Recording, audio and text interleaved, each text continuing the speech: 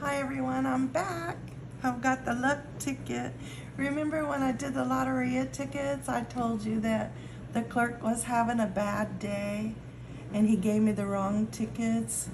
Well, guess why I knew he was having a bad day? Because the luck ticket was one of the tickets I asked for and this is how I got it. Can you see that?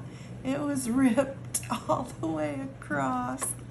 So they taped it for me. So I was like, okay, when the other tickets were the wrong tickets, I wasn't going to say anything because he already felt really bad about ripping my tickets. but that's okay. We got ticket number two. Let's see if we win anything on it. Maybe it'll turn out to be a good day after all. I've already scratched the winning numbers, so we're ready to go. Do you have your ticket? Are you scratching with me today? I love having scratch buddies. Let's scratch.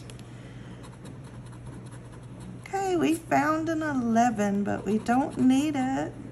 We found a 3, a 36, a 16, a 28.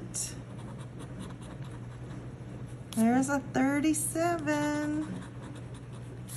There's an 8. We need a 6 or a 7 or a 9, but not the 8.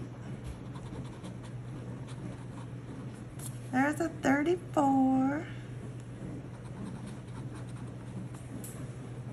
27, we needed 25 or 26. 33, nope, there are no 30s at all. 13, a 4, a 24, Nope, we need that 25. A 5. Nope, we need 6 or 7. Let's see if I can scratch right here. That's where it got ripped. But it looks like a 39. We don't need it. 35. A 12. A 21. We needed a 20 or a 22, 38, last number 19. So ticket number two is a loser. After all, it doesn't matter that it was ripped because it didn't win. It wasn't lucky. But I hope your ticket is lucky today.